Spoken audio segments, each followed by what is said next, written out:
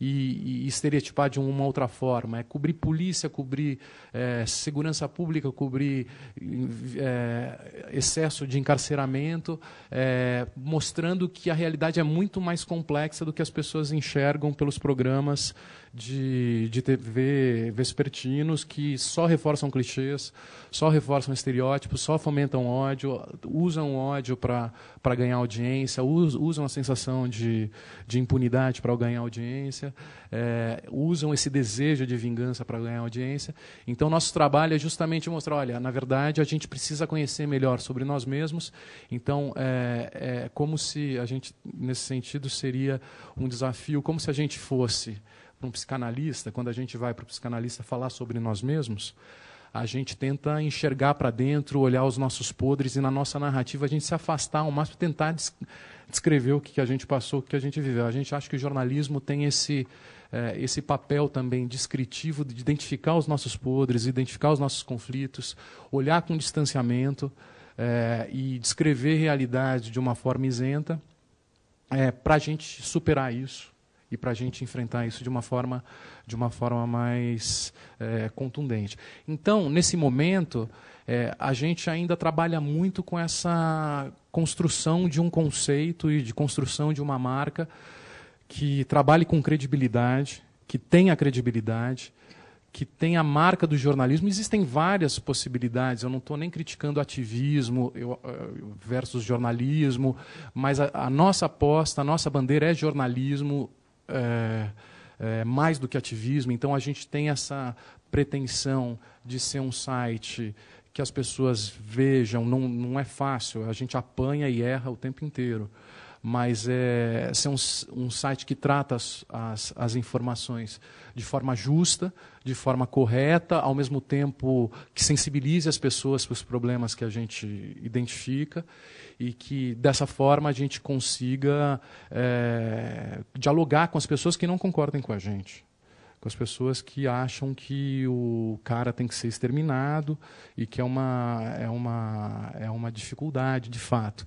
Então, a gente tem fundamentalmente na cabeça que esse é um trabalho técnico, é um trabalho que envolve técnica, envolve é um trabalho, envolve conhecimento, envolve desprendimento, você tem que ter horas dedicadas para apuração, você tem que ter horas dedicadas a, a checar o outro lado, você tem que ter disponibilidade para ir ao local quando os fatos acontecem você tem que ter, é, você, tem que estar tá voltado para esse tipo de atividade, e não aí, ser uma justamente, como é que entra a questão do financiamento Sim. disso tudo? Não é barato fazer isso. Não né? é barato e, e, e, eu não sei te responder ainda.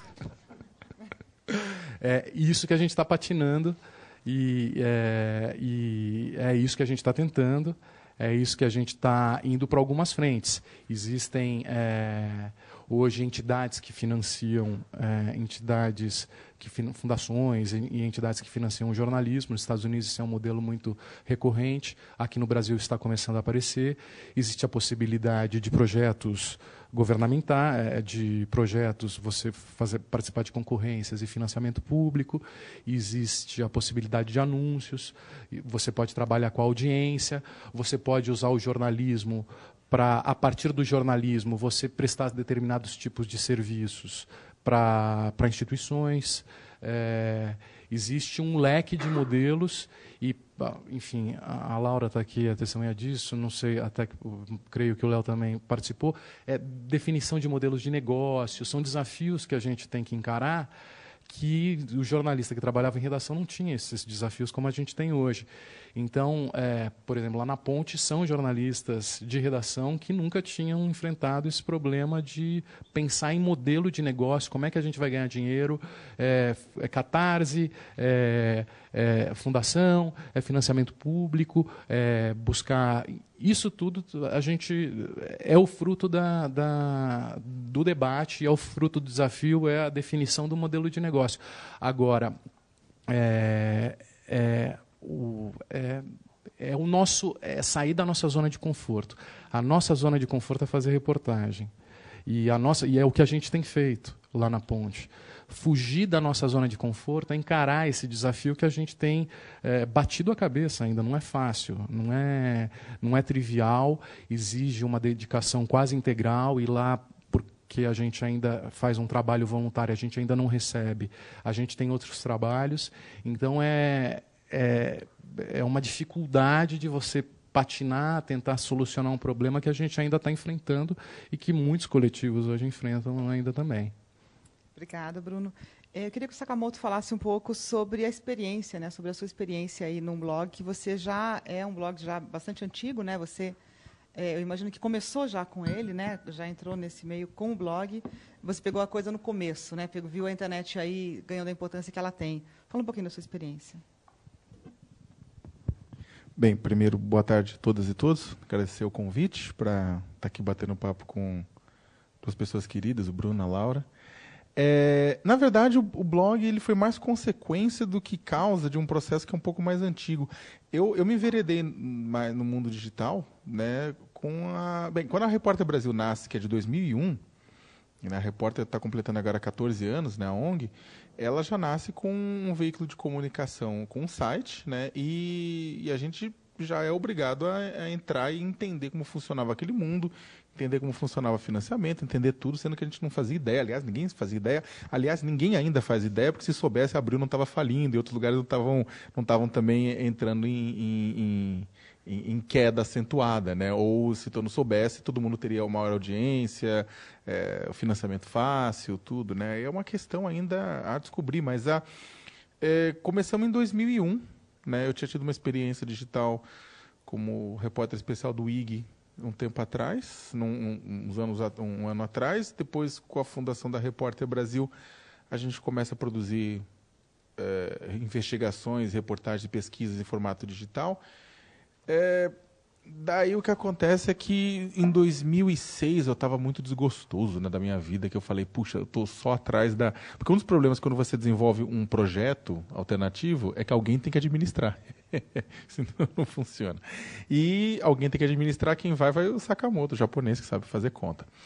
E, a, e também é chato, é mandão, tudo isso, então bota ele, ele administra. Né? Então, o que, que acontece é que em determinado momento eu passei a, a, fazer, a ser mais um administrador, provavelmente dito, do que um, um jornalista. Né?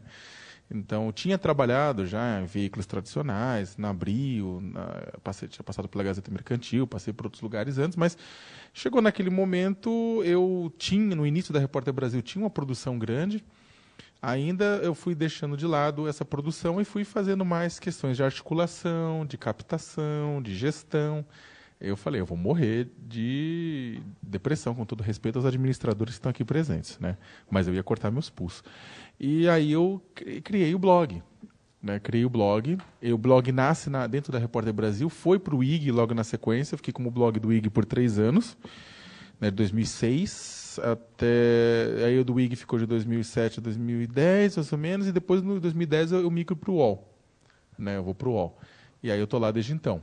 2010 até 2015, agora eu tô, tô, tô, tô, tô no UOL.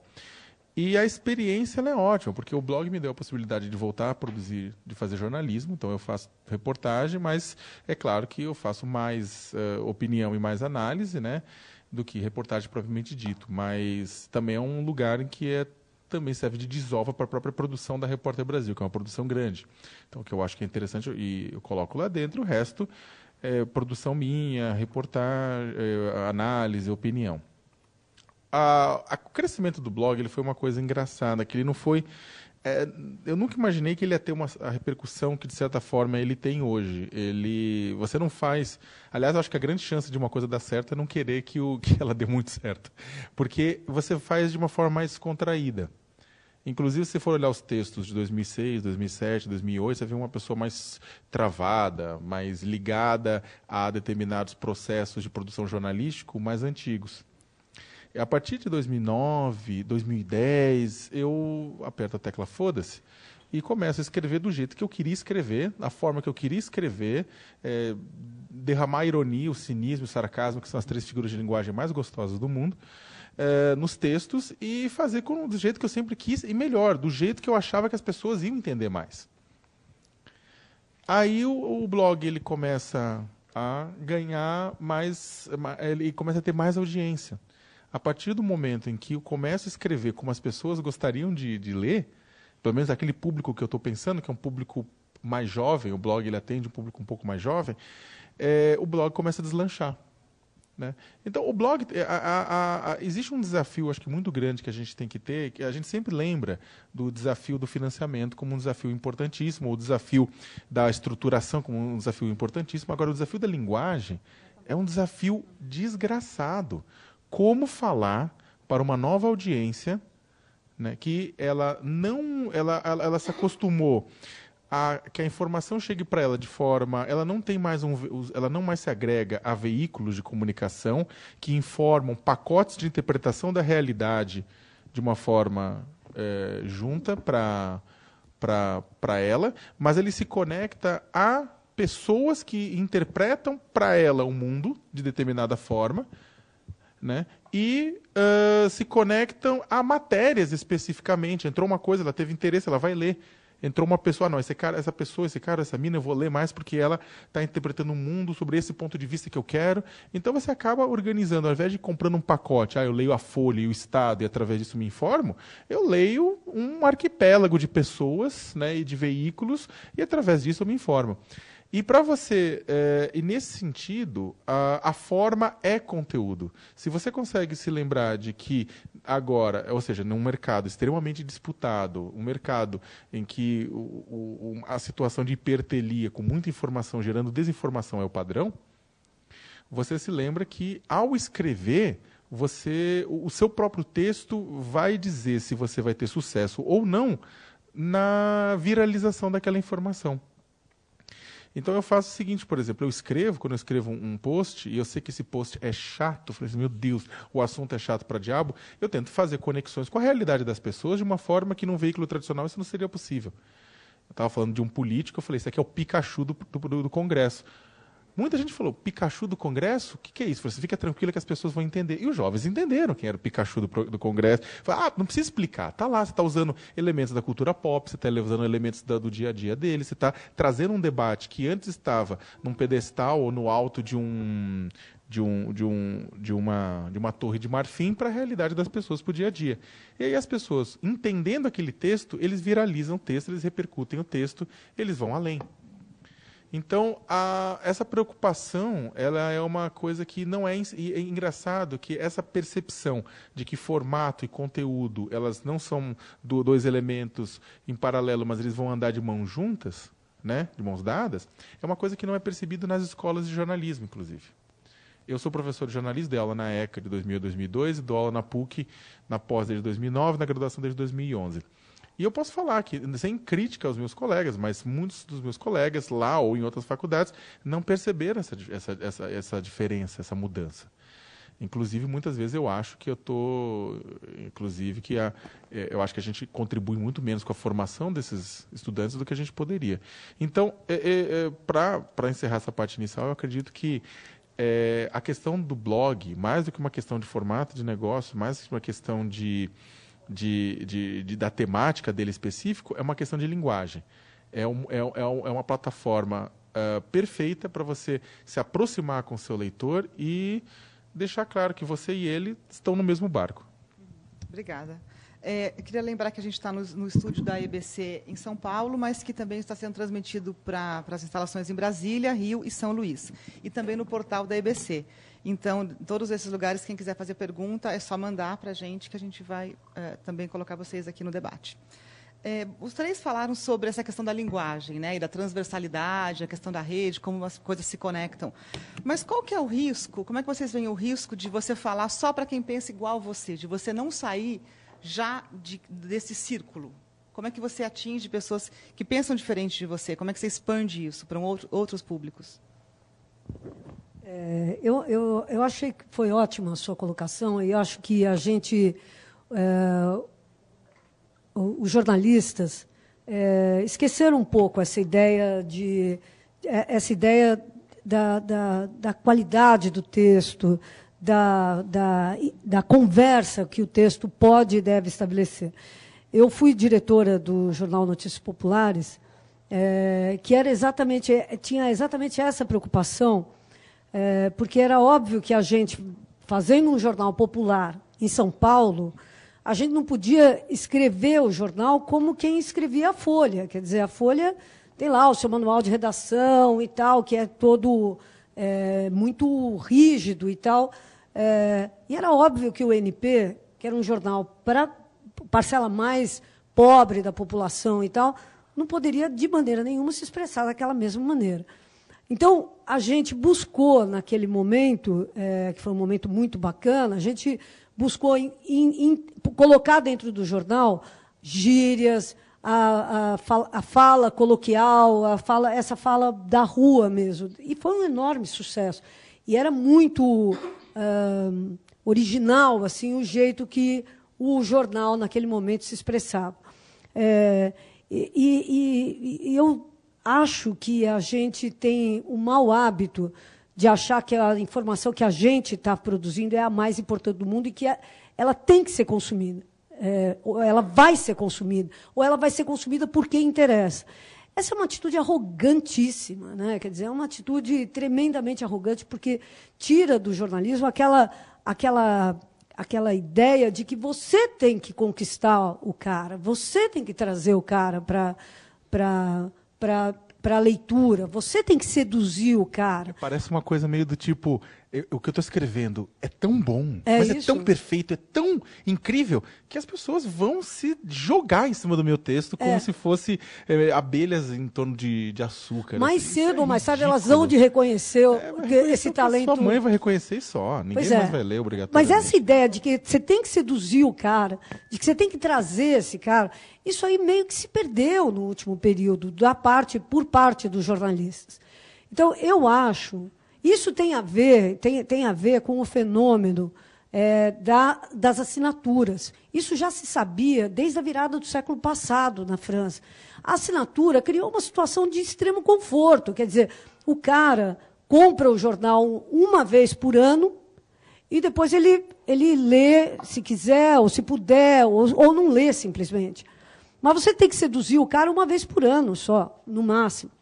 Agora, o jornal em banca, ele tinha que, e o Notícias Populares era um jornal de banca, o jornal de banca sabia que ele precisava seduzir o leitor cada dia. Então, quando eh, as pessoas mais velhas vão de se lembrar, em São Paulo existia, exi- as bancas de jornal expunham o NP, Notícia Popular, e formavam-se eh, rodinhas de pessoas para ler o jornal. E você tinha que dar aquela amostra grátis, o cara tinha que se sentir motivado e comprar o jornal. né? Eu acho isso tudo super importante, porque nós estamos discutindo financiamento. E é isso mesmo que o Sakamoto falou. é, as coisas têm que vir junto. Você vê, era uma população extremamente pobre, a população a que o NP se dirigia. E o NP não tinha anúncio. O NP só vivia da venda em banca. E vendia mais do que todos os jornais de São Paulo. Então, por que, que a gente conseguia vender para uma população extremamente carente e tal, não? Porque a gente falava o que o cara queria ler, da forma que o cara podia ler, e tinha uma preocupação eh, assim absoluta com a sedução. O cara, que era o redator da primeira página do Notícias Populares, para vocês terem uma ideia, ele cham- chamava-se Laudo Paroni. Esse cara era um gênio da comunicação popular. E ele era redator, redator dos programas do Chacrinha. Então, sacou quem era o cara do Chacrinha? Então, ele sabia tudo sobre essa comunicação. Ele era genial. Eu eh, acho e que 90% do sucesso que o, IN que o NP viveu naquele período vem disso, vem dessa, dessa coisa. Então, qual é a chave para a gente falar com outros públicos e tal? É a gente sair do pedestal, entendeu? Quer dizer, é a gente sair de fato do pedestal de que o que a gente está fazendo é a coisa mais importante do mundo. Nós temos que seduzir os caras para que eles venham e sustentem o que a gente está fazendo. Por que, que o cara que era o leitor do NP pagava um real para comprar o jornal e a gente não consegue, os, os, os, os sites e tal, não conseguem é, 30 reais, vamos dizer, por mês para que a pessoa assine. Mas você pode falar, 30 reais é caro. Mas tem uma assinatura que nem a do Netflix, entendeu? Por que, é que a gente tem que é, ser. Uh, ou a gente tem grana do governo, ou a gente não tem. Ou a gente tem grana da, das fundações, ou a gente não tem. Por que a gente não pode se amparar nesse leitor que se reconhece, que se, se identifica com esse jornal? Eu acho que o, o, o grande modelo de negócio é esse, é voltar ao jornalismo que era capaz de seduzir e apaixonar as pessoas. E vocês acham que a internet Posso fazer um contraponto isso? só? É, é, Aham.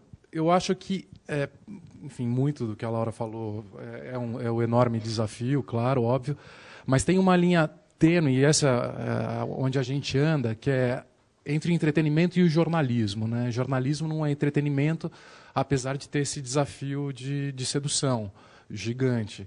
E ainda mais, enfim, a gente lá da Ponte que cobre temas pesados, como assassinatos na periferia, violência policial, é, é, o encarceramento em massa, que são temas por si só é, é, difíceis de serem assimilados e que as pessoas não gostam, na verdade, de, de ver. As pessoas é um tema que é impopular por natureza. Então, óbvio que tem o desafio de fazer as pessoas quererem saber sobre isso, mas isso não chega a ser um fim em si mesmo. Né? Você tem que, muitas vezes, divulgar certas informações, porque elas são necessárias, e o fato delas serem necessárias tornam elas importantes, as pessoas querem consumir justamente por isso. O Datena e o, e o, e o Marcelo Rezende são uma prova disso. Eles fazem entretenimento policial.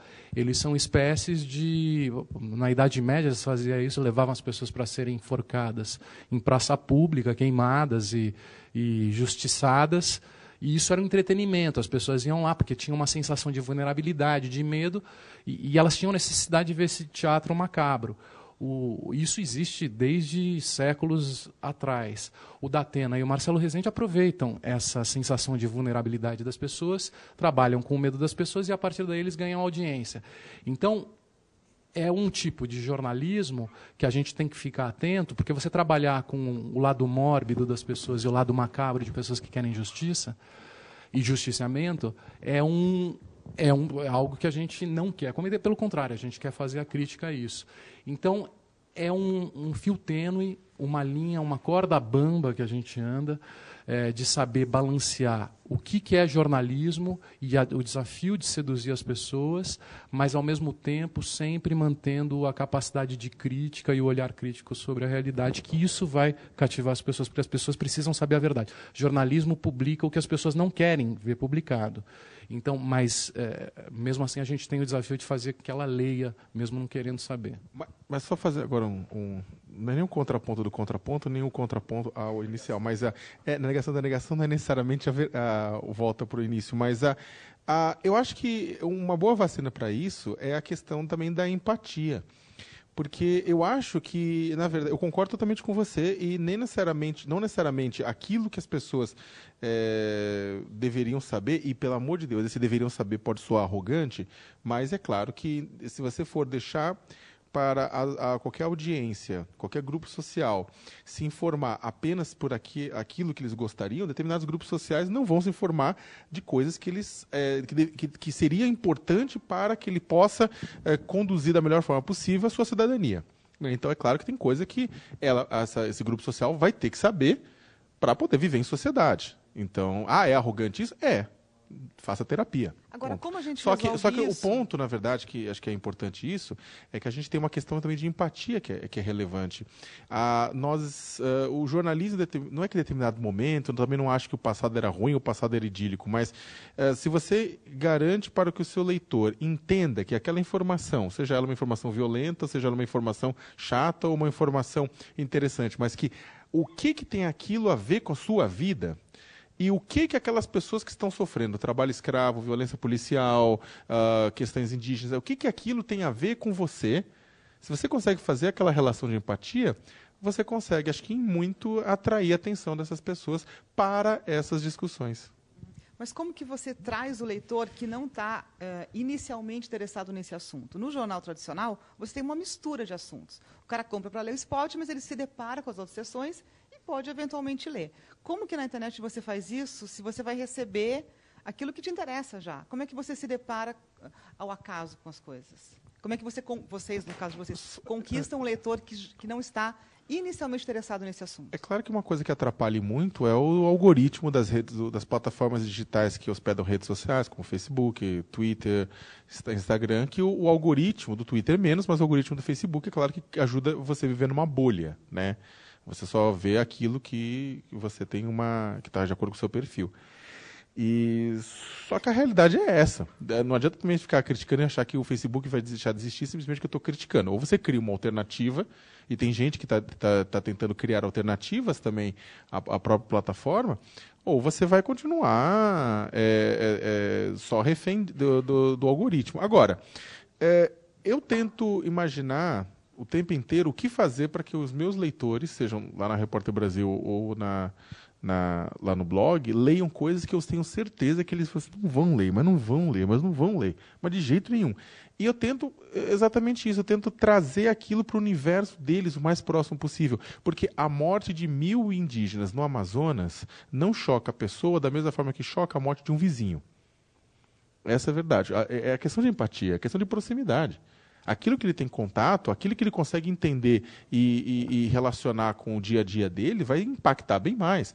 Então, poxa, mas você teve libertações, teve 1.064 trabalhadores libertados numa fazenda de cana em 2007, no Pará, em Ulianópolis, e não teve tanto rebu quanto, por exemplo, a libertação na Zara, nos fornecedores da Zara. Porque está no dia a dia. Jornalista veste Zara. Tem tudo isso. As pessoas estão no dia a dia de todo mundo, as redações, de. Ah, Poxa, exato, paguei tão caro, era um escravo que fez aquilo. Né? As pessoas não ficaram revoltadas por causa do trabalho escravo, ficaram revoltadas que estão pagando caro e é um boliviano que recebe 50 centavos por peça que está ganhando.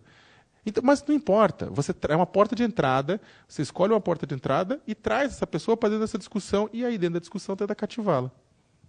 Eu, eu, eu concordo com o Léo e é, de fato, o nosso lá na ponte a gente brinca que o nosso comercial daqui a cinco anos seria um, um estrangeiro chegando em São Paulo e perguntando alguma coisa para o taxista sobre direitos humanos, e o taxista, não, não, mas defendendo e conversando no táxi, o cara e o nosso desafio é ponte, convencendo o taxista de São Paulo. É, esse, é o, é, esse é o nosso desafio, mas ao mesmo tempo, eu acho que é uma coisa que, é, quando eu escrevi o blog no Estadão, é, foi engraçado que, a, a, óbvio que era incomparável com a audiência do Léo, mas a, a, repercussão que eu tive no blog no tempo que eu trabalhei lá, é, que me parecia segmentada por pessoas que se interessavam pelo tema de segurança pública e direitos humanos, foi, foi muito maior do que 10 anos que eu trabalhei no jornal e na redação. Então, é, por outro lado. Compartilhamento, né? Do, do compartilhamento e, e, pelo interesse e pelo impacto que tinha em formadores de opinião, em, é, em políticos, em secretários de segurança. É, teve o caso que a gente publicou, a ponte que eu fiz com o André Caramante, uma reportagem sobre um garoto que tinha sido preso injustamente na Fundação Casa. A gente publicou a história é, numa manhã é, à tarde ele já estava solto e ele já estava preso, já estava internado há um mês na Fundação Casa, porque o juiz que tinha internado, com base numa informação errada que a gente mostrou que estava errada, se sentiu constrangido, tomou um esporro do outro juiz que era o, o, o, o titular, ele era um juiz substituto e, e liberou o garoto. Então, eu acho que é um desafio falar com o taxista, é o nosso desafio, a gente tem isso, mas ao mesmo tempo você tem um lado de um trabalho segmentado e pessoas que são formadores de opinião e que se interessam pelo assunto que você trata. E quando você tem credibilidade, seriedade, quando você faz jornalismo, quando a sua informação vale, é, um, é uma porrada maior do que quando você começa a ser confundido com, de repente, ah, os caras estão fazendo é, jogo político, estão militando por, por, direitos humanos, que é, é, uma, é uma meta nossa, é a nossa preocupação, é a nossa discussão. Mas a nossa informação ser justa, às vezes a porrada e o impacto que tem nos formadores de opinião e nas, nas pessoas que têm que se sentir constrangidas, é, é, também importante. Então é sempre, é sempre um desafio, né, Léo? Conseguir é, balancear essas coisas. A gente tem uma pergunta aqui da audiência, por favor. Oi. Alguém quer fazer pergunta? Pergunta. Perguntas? Alguém? Brasília tem perguntas. Se aqui não tiver ainda, a gente passa para Brasília. Tem? Peraí. Ah, meu nome é Priscila, eu trabalho aqui na IBC Sonopasta. É, a minha pergunta, acho que vou falar até um pouco de mim, assim, mas é sobre essa, esse microcosmo da, que as pessoas falam para elas mesmas. Né? No meu caso, eu desisti muito de ler jornal e acessar os sites e me informo mais pelo Facebook, assim, que eu uso quase como um clipping de notícias. Né? Só que o problema do Facebook é esses algoritmos, né, esses filtros que, por mais que, por exemplo, eu nunca discuti ninguém que é, pensasse diferente de mim, mas geralmente as notícias que me chegam são sempre notícias que eu concordo, assim, né? E eu imagino que isso seja um problema mesmo, porque a gente acaba se alienando do nosso grupo, assim. E aí eu queria saber de vocês como é que a gente pode pensar, porque eu não vejo hoje em dia nenhum, quer dizer, tem a Ponte, tem outros, mas não tem sites como tinha é, tem o UOL também, que agrega mais, né, outros sites, mas que sejam confiáveis, é, grandes sites de notícia, porque hoje você buscar um blogueiro, outro, é muito mais complicado. assim Você entrar, você tem um dia e tirar o dia para entrar em 30 blogueiros diferentes, 30 jornalistas diferentes. Eu acho isso é mais complicado. Sempre eu, eu acessei mais Facebook por causa disso, assim, que eu acho mais fácil tá todo mundo lá, assim, sabe? As pessoas, meus amigos, fazem esse filtro, né? É. Posso falar um pouquinho sobre isso? Eu, eu acho que é, é, o, que você, o que você faz é o que todo mundo faz, né? Quer dizer, o que cada vez mais as pessoas estão fazendo. A gente lê aquilo que os nossos amigos recomendam, né? Quer dizer, bem, bem, é, assim, grosso modo é assim que a gente está tá, tá se informando. Eu não acho ruim, entendeu? Porque é, esses amigos não são nossos amigos por acaso, é porque a gente compartilha valores, a gente compartilha ideais de vida, a gente compartilha é, um, um, mundo mental, né? Quer dizer, os meus amigos, por exemplo, dentro do é, e, e, e, é interessante porque essas ondas de ódio que houve é, nesse último período, né? É, as pessoas se, se vangloriavam de chegar e falar, olha, no meu é, eu, eu, eu desfaço amizade com quem defender é, essa posição com, quem, eh, com, com, as pessoas que defenderem o direito dos evangélicos de imporem o direito. Então, meio que eh, as pessoas falaram, olha, no meu, na minha comunidade, no meu grupo, vão estar as pessoas que pensem mais ou menos como eu. É meio natural que seja assim, entendeu? O grande problema é o quanto isso acaba restringindo o nosso, eh, a nossa compreensão do que está em jogo no mundo, né? Porque é, é muita coisa que está em jogo. É, eu, eu, acho interessante, uh, tem um, um, um, pessoal, uns hackers, que, fiz, que fazem o acompanhamento das redes é, durante essas grandes brigas. Né? Por exemplo, a passeata, o ato, uh, o ato contra Dilma na Paulista. Como é que isso aí foi, foi comentado dentro da rede? Então, eles pegam as hashtags que foram usadas, fora Dilma, Dilma sou eu, todos somos Dilma, sei lá, e, e vem as hashtags que são a favor, as hashtags que são contra. Então você vê que dentro das redes existe uma guerra hoje em dia, é uma grande guerra. Um querendo influenciar o outro, o outro querendo influenciar um, uns argumentos e tal, não sei o quê. E aí eles comparam quem é que são os grandes formadores de, de opinião. É, eu acho que nós estamos. A, a, rede, a rede social virou uma grande praça de guerra, entendeu? Quer dizer, e, cada vez mais, as estratégias são de guerra mesmo. É, são perfis falsos que são usados para entrar na minha comunidade, na sua, entendeu? É, são muitos, muitos os recursos, recursos de guerra mesmo, recursos de pôr infiltrados aqui, ali, acolá. É, bom, eu estou dizendo isso porque eu acho que a grande saída para nós, para a gente re, retomar o diálogo, é exatamente a gente tentar cruzar redes diferentes, entendeu?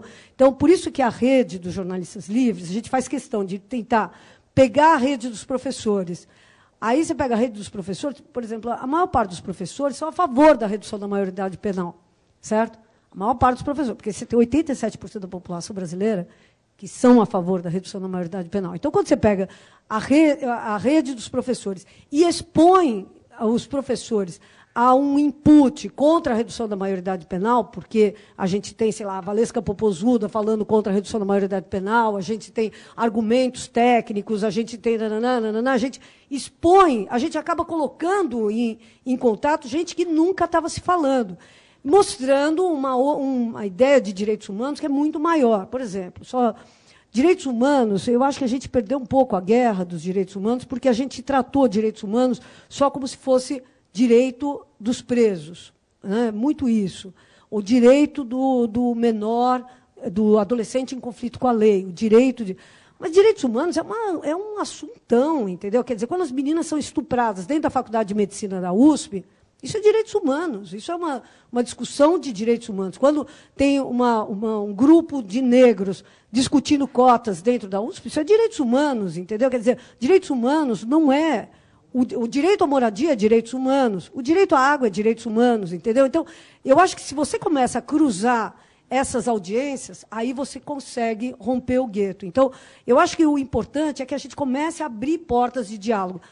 O é, algoritmo do Facebook foi feito para que a gente fale só para os nossos iguais. Mas se você pega e tem a preocupação de se constituir num hub, você começa a falar com outras pessoas.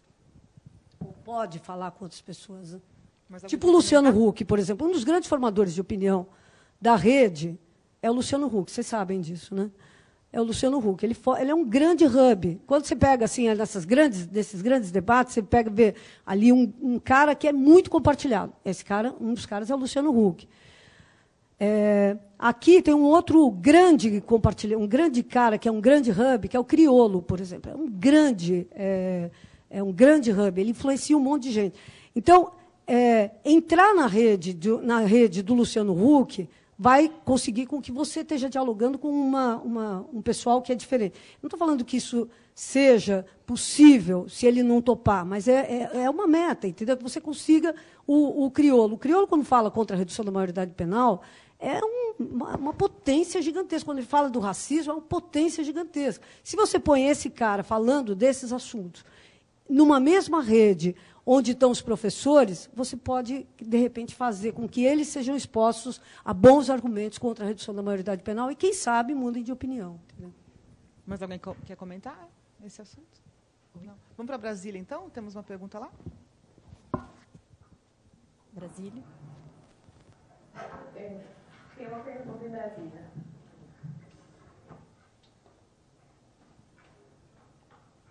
Pois não. Boa tarde a todos. Meu nome é Cristiana, sou daqui de Brasília.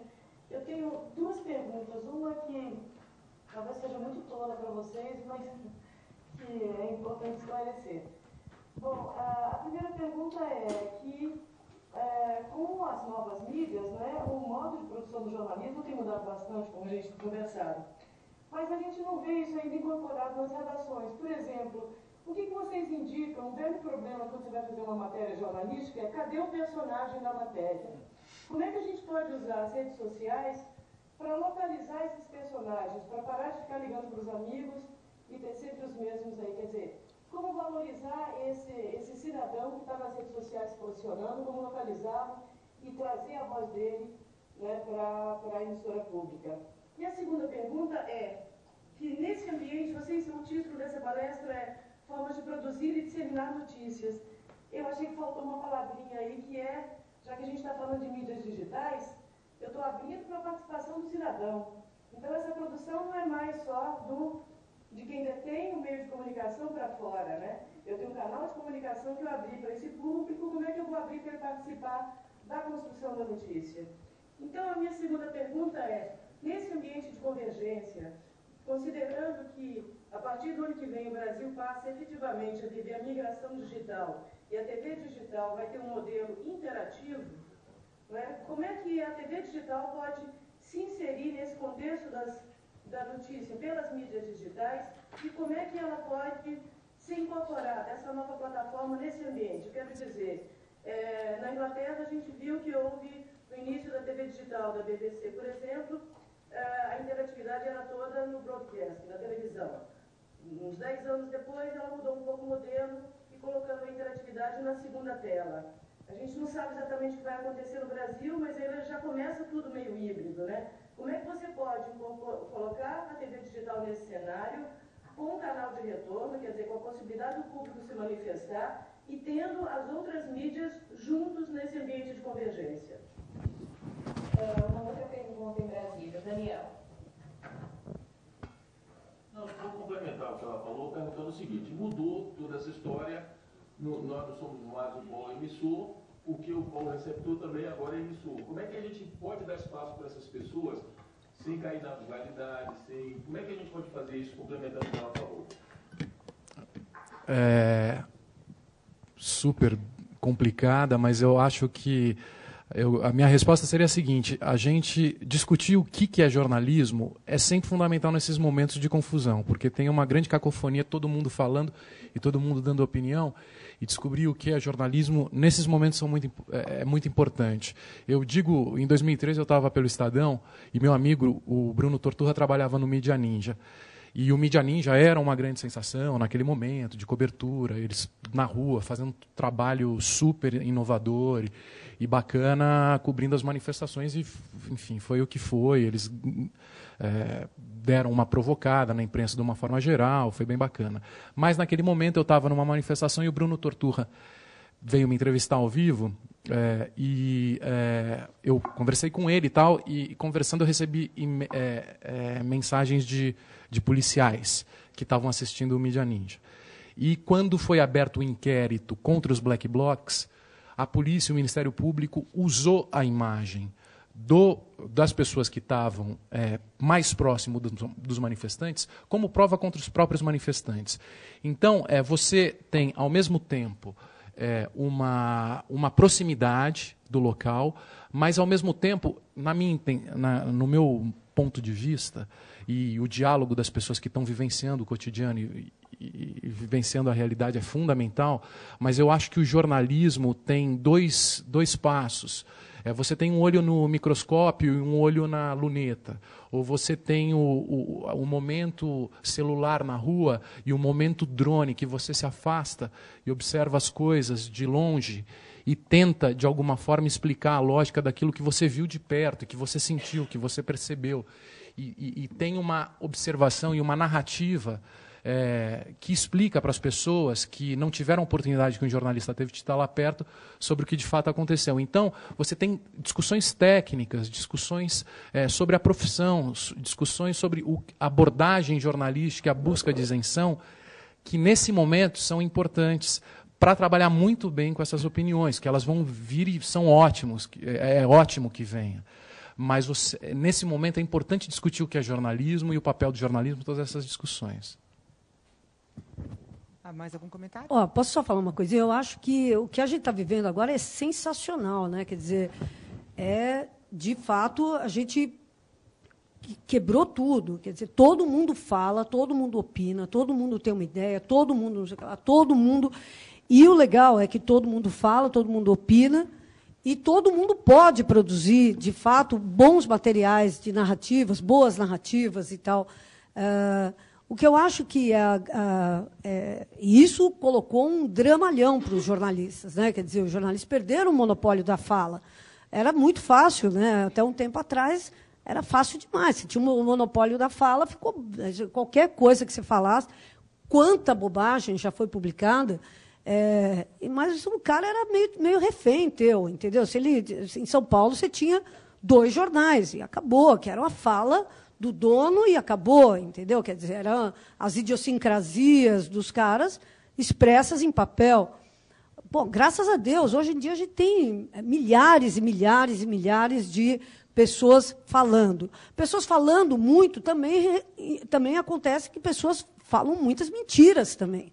Então, acho que uma das funções mais importantes que os jornalistas têm hoje em dia é, e que as pessoas que estão preocupadas com uma narrativa veraz, uma narrativa eh, consistente, com, eh, quase científica, o que não significa chata, é, é, esse trabalho de curadoria. Eu acho que é, é, é esse trabalho de dar voz ou de magnificar a voz dos bons uh, das boas narrativas que surjam aqui, ali, acolá, e acolá, e acolá, é um grande trabalho, é uma grande dificuldade localizar o cara que está fazendo uma narrativa original e bacana e bem feita e tal, não sei o quê, e, e acima de tudo, com credibilidade, é fundamental para você sair dessa, dessa bagunça de todo mundo falando e muita gente mentindo. Então, você ter um trabalho de conversar com os jornalistas que estão lá longe, é, com os, os, sites, com os coletivos, saber o que separar o, o, o joio do trigo mesmo. Quer dizer, quem é que está mentindo, quem é que está só fazendo, disseminando boatos loucos e quem é que está fazendo um bom, uma boa coisa. Então, eu acho que esse trabalho é um trabalho que agora, então, com essa possibilidade que está aberta pelos canais digitais, vai ser incrível, mas a gente mais ainda vai ter que ter essa função de curadoria muito é, ressaltada, né? quer dizer, os, os, os, blogs, os sites e tal. Não, ainda bem que a Laura resgatou no final da fala dela a palavra curadoria, aquela que estava saltando na minha boca, exatamente, questão de, de fazer de fazer organização, né? Como eu falei, o jornalista ou veículo, ele assume um papel de ser uma uma fonte confiável de informação. Agora, a fonte de informação ela deixa de ser simplesmente aquele que produz notícia, produz conteúdo, mas também aquele que seleciona notícia, seleciona conteúdo. Agora, tem uma parte importantíssima nesse, nesse processo que vai além do trabalho do jornalista, que eu acho que a gente mais do que nunca a internet que está tá vivendo agora o seu momento de adolescência e sabe aquela coisa, tipo na infância você descobre que você tem órgãos genitais na adolescência você começa a usá-los loucamente, como se não houvesse amanhã, sem se ligar que pode, você pode ter um filho, você pode pegar alguma pereba, alguma coisa no meio do caminho. Até o momento em que a gente vai descobrir que, ótimo, temos órgãos, eh, eh, órgãos genitais que nos dão prazer, né, a utilização deles é, vamos usar com um pouco de responsabilidade, não questão moral, mas uma questão de mínimo de responsabilidade com as consequências da sua vida, vai um tempo. A gente está acontecendo a mesma coisa na internet. As pessoas descobrem que têm voz, estão falando loucamente, algumas uh, falando um monte de abobrinha pura e simplesmente porque querem falar abobrinha, outras que são pagas para falar abobrinha. O ponto é que uh, a gente vai ter que. É, isso tudo, esse momento agora em que uma pessoa não vê diferença, muitas vezes, entre um site sério como a Ponte, o pessoal da, da Rede de Jornalistas Livres, ou mesmo a matéria que foi super bem apurada pela Folha de São Paulo, ou quem quer que seja, e uma notícia que chega apócrifa anônima via WhatsApp da sua best friend forever. Né? Chega até você e você não vê diferença nenhuma e você se, você se forma por aquela notícia anônima que chega na, no WhatsApp e o que acontece diariamente, a classe média profissional paulista, por exemplo, paulistano, muito se informa pelo WhatsApp ou pela rede social, mesmo que aquele site, gente, não tem expediente esse site. Eu não sei quem fez, né? Pode ter sido feito num qualquer boteco e não tem nada aqui acusando e denunciando. Eu mesmo tenho um monte de página na internet falando que eu tenho um Porsche, que eu tenho casa na eu, eu, cobertura em Gianópolis, que eu tenho uma mansão de vidro em, em Ubatuba, que eu tenho que eu ganho um milhão de reais por mês do governo para falar bem da Dilma se eu ganhasse um milhão de reais por mês para falar bem da Dilma, tipo, me chamariam para as entrevistas coletivas, né, por exemplo. Não me chamam. É, o que acontece é que não importa aquilo que chegou de uma fonte confiável do seu amigo e, e você tende a colocar aquilo como verdade. Então, tem um processo que vai ser fundamental, que é a educação para a mídia a Você gente isso vai acontecer vai... naturalmente? Não, de jeito não, nada acontece naturalmente nesse país, né? Mas a, a, a gente vai ter que os movimentos sociais, organizações sociais, professores, é, mídia ativistas, jornalistas, todo mundo vai ter que colocar essa pauta educação para a mídia que desde lá de trás, no, no, ensino fundamental, passando pelo médio, ensino superior, esse é um tema transversal que tem que estar presente, que é tão importante quanto educação para gênero, educação para questões de identidade e orientação sexual, vai ter que estar presente. Quando você fala desse assunto, as pessoas falam, não, você está querendo ensinar as pessoas a fazer censura. Não, ensinar as pessoas a lerem a imprensa, saberem que determinados argumentos são fortes e outros não são, o que, que é uma falácia, qual que é a qualidade, como diferenciar um produto de boa qualidade e um lixo. É exatamente isso. Tem que, tem que começar. A gente tem um trabalho extra-escola, mas tem um trabalho na escola que vai ter que ter isso. E para finalizar, eu acho essa a pergunta de Brasília, eu, eu sou um pouco cético com relação a a, a, a, a, a vinda da TV digital. Ela vai ser muito útil para que é, é ela na, na verdade ela não vai ter tanto impacto uh, para a democracia se não vier junto com a democratização dos meios de comunicação. Porque não adianta que os, ve os veículos tradicionais, os veículos sejam estatais, públicos, privados, tenham acesso, sendo que o grosso da população não tem acesso aos veículos, à, à televisão. Não tem acesso à TV. Ah, mas tem um canal comunitário. Gente, é insuficiente. Grupos no Brasil inteiro não têm voz e não aparecem nos canais de TV e você precisa ampliar isso. Então, aproveitando que vai haver essa possibilidade de aumento, deveria também ampliar a quantidade de vozes à disposição. Né? E isso, isso passa pela democratização dos meios de comunicação, afinal de contas, é uma concessão pública. Vamos agora para uma pergunta do Rio de Janeiro. Bom, é, em grande parte é, dos veículos, a EBC ainda privilegia maciçamente o jornalismo factual é, e de agendas oficiais em detrimento de um jornalismo mais aprofundado, com maior tempo de pesquisa, produção, foco no conteúdo, na narrativa, como vocês falaram. A gente costuma dizer, brincando aqui no Rio, que para alguma coisa virar tema, virar pauta, basta sair no G1, aqui que a gente faz. É, então, assim, a, é, a, gente faz esse, muitas vezes esse factual cotidiano sem ter estrutura de helicóptero, é, equipes grandes, como a Globo e a Record têm, que é a maneira assim, de se fazer hoje em dia esse, esse factual é, de forma, é, não sei, vendável e atrativa. Assim. A gente não tem isso. Então, é, vocês acham que, que essa hegemonia assim, do factual cotidiano, ela está acabando hoje em dia? É, ela está em decadência com, com novos modelos de jornalismo surgindo? E vocês acham que a comunicação pública pode conquistar espaço com jornalismo mais aprofundado, com foco em narrativas mais atraentes? Tá, é pure dessa camisa de força assim, do, do factual cotidiano?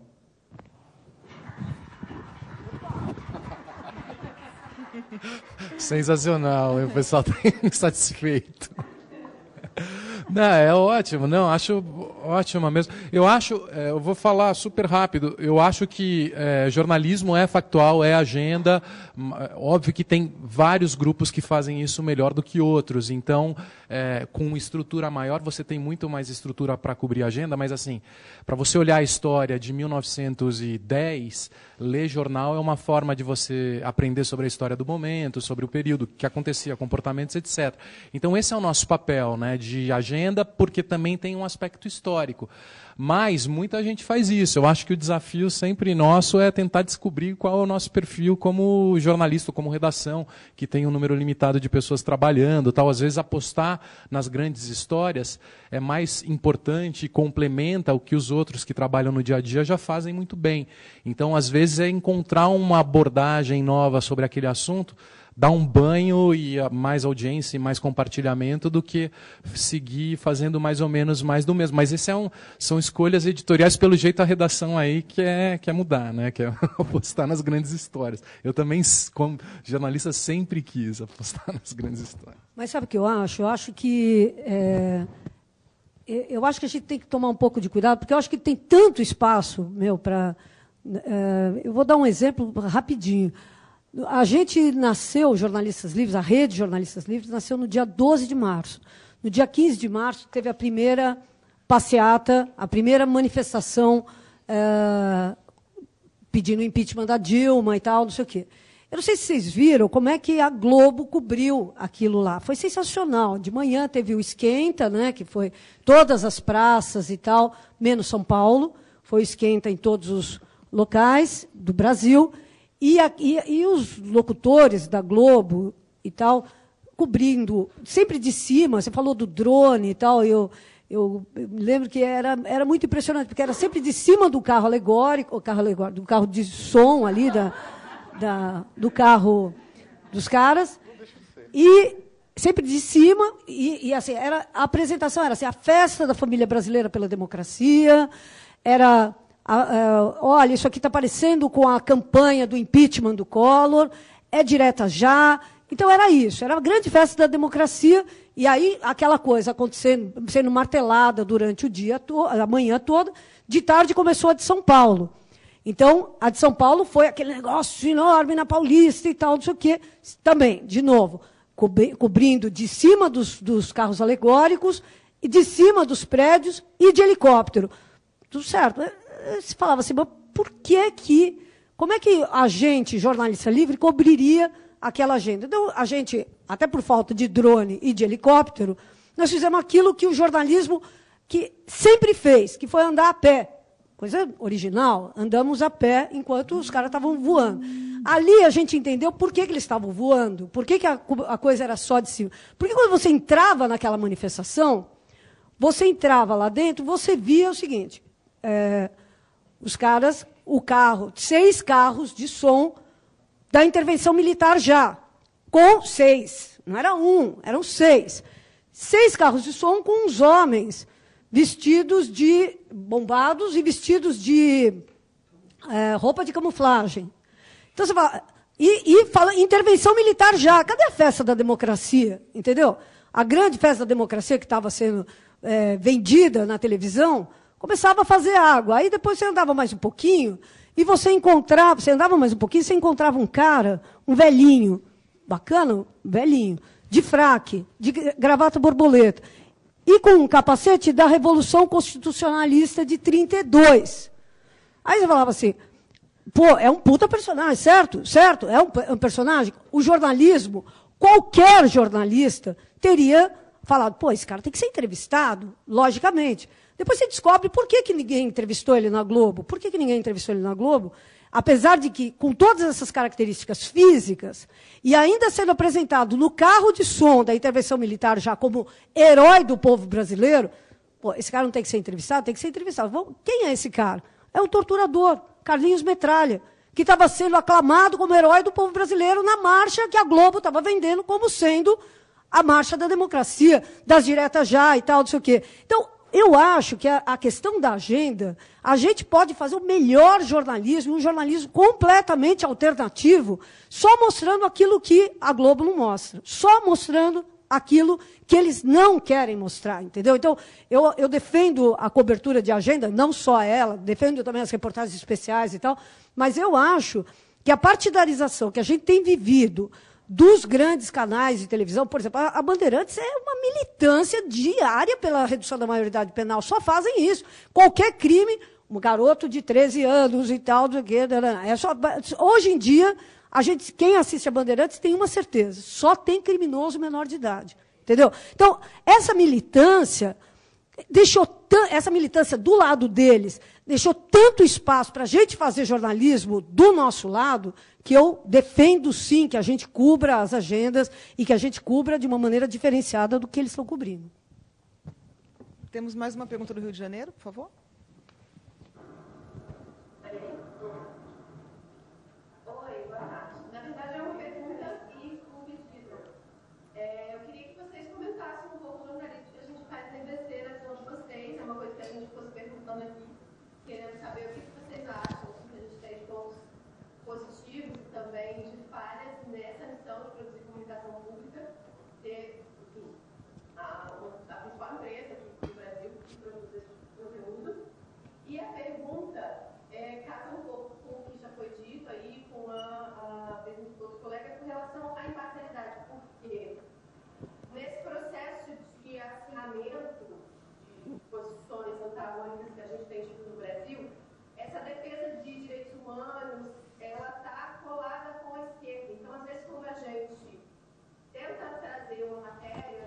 viés, com esse viés de defesa de direitos humanos, a gente acaba sendo questionado com relação à parcialidade disso, como se a gente estivesse sendo parcial para o outro lado.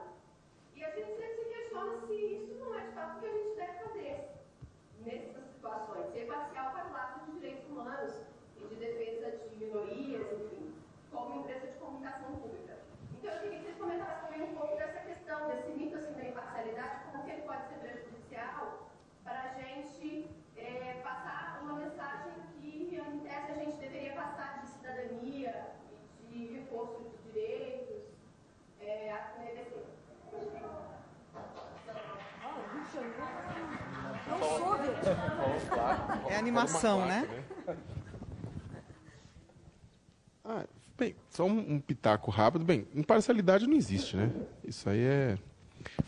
pessoal gosta de falar isso em faculdade de jornalismo ou em anúncio de jornal só, mas o resto não existe. Eu acho que o que existe é o que deveria ter maior, a maior, mais, uh, o mais interessante seria que houvesse transparência, né, que os veículos de comunicação de, eh, fossem transparentes com relação à opinião, à sua opinião, e os jornalistas fossem transparentes com relação à sua opinião, porque aí o leitor poderia absorver, a leitora, telespectador, ouvinte poderia absorver esse conteúdo sabendo que né, um dos maiores jornalistas do mundo, que é o do Independent, Robert Fisk, né, ele todo mundo sabe que ele é contra a política de Israel com relação à situação no Oriente Médio. E ele está lá em Beirute fazendo a cobertura e não deixa de ser lido e não deixa de ser uma das figuras mais proeminentes internacionalmente falando no jornalismo. Né?